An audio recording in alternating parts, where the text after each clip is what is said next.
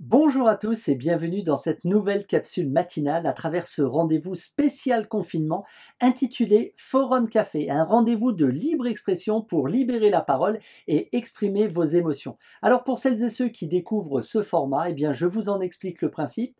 Chaque matin dès 7h30, j'ouvre le débat sur un sujet de société, un sujet d'actualité et cela à travers une question unique, une seule question par jour pour recueillir votre avis pour vous faire réagir, mais aussi pour partager avec moi votre opinion.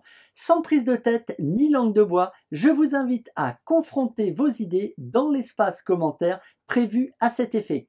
Alors avant de débuter ce forum, que vous soyez à la maison, que vous soyez au bureau, eh bien prenez un instant, installez-vous confortablement, car dès maintenant, vous avez rendez-vous dans Forum Café. Générique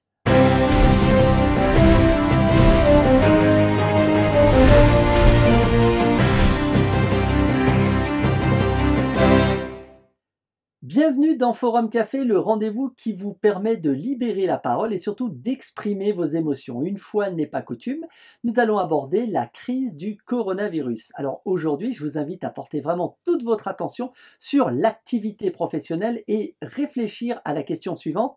Rester à la maison et percevoir 80% de votre salaire vous semble-t-il une bonne mesure? Rester à la maison et percevoir 80% de votre salaire vous semble-t-il une bonne mesure? À vos claviers, vous pouvez à tout moment vous exprimer. Je reste attentive à toutes vos remarques, à tous vos commentaires, car comme convenu, on se retrouve immédiatement dans l'espace prévu à cet effet, juste en dessous. Forum Café, c'est le moment de vous exprimer.